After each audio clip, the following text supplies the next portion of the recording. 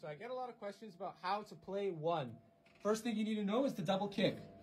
This beater right here is controlled by the right pedal, and this beater right here is controlled by the left pedal. So together, it sounds like this. And for one, you just play this.